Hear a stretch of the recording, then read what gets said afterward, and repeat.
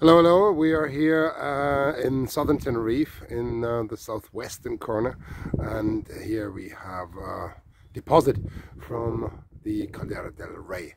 This was a maar type volcano, it's a double maar actually and it erupted free phreatomagmatically. But uh, as opposed to most other kind of maars we have here in the Canaries, which are basaltic, this one here is phonolitic. So, and typical for phreatomagmatism, it throws out these large blocks and uh, they're very angular. So they're ripped to uh, shreds here. And you see some of these uh, black blocks here. This is all the basaltic material that got caught up in the eruption. And uh, typically for phreatomagmatic eruptions, there's also this kind of wobbliness of the deposits, implying that everything was wet at the time and uh, that uh, things were sagging or sinking into the wet substrate. So here we have a few more of these larger uh, blocks here, and some of the units are quite blocky, but there's also pumice in there and uh, light creamy colored material that is phonolitic pumice. So this is the juvenile component of the eruption. You can just about see it here.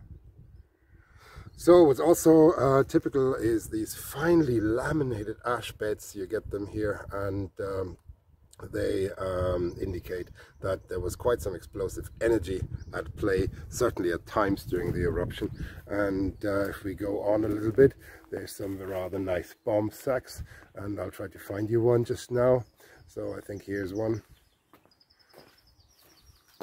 Here we see that uh, this uh, basaltic fragment was impacting on the wet substrate uh, on this finely laminated um, ash horizon and uh, on this tooth and it was sinking in and looking at the deformation of the bomb one almost gets the impression that it came this way. So uh, but of course you need to look at these uh, in 3D and you need to look at more than one in order to uh, come up with a good stratigraphy or a good concept of uh, how these things were deposited and how they migrated here. So let's step a little bit further. Here we have another small bomb sag and oh, having said this, this almost looks the same. It looks almost as if it's coming from left to right here, impacting this way. So we do get a sense that uh, Caldera del Rey was indeed uh, uh, located somewhere to the left of this position. And actually that's correct. So uh, from that point of view, this would be very consistent with the geographical uh, situation that we're facing here. So I'll run you along this deposit a little longer. So alternating coarse and fine layers, alternating pumice rich and block rich layers. Here's one of these pumice rich layers. The cream colored materials is the pumices. And here we have the blocky material that is quite enriched in foreign uh, material in uh, pre-existing blocks.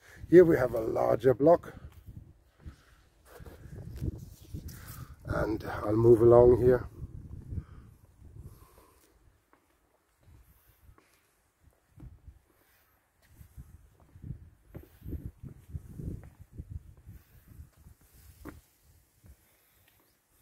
So this clearly indicates a pulsing nature of the um, uh, sequence of eruptions coming from Caldera del Rey.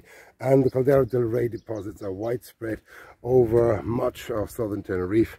And uh, I think this hopefully gave you a good impression. So we'll see here beyond, there's more of this, but uh, I think uh, the outcrop's getting a little thin. They are coming back again after the houses, but I think we'll leave it for now. I trust you've got a sense of what I want to show. Thank you very much for joining and uh, all the very best.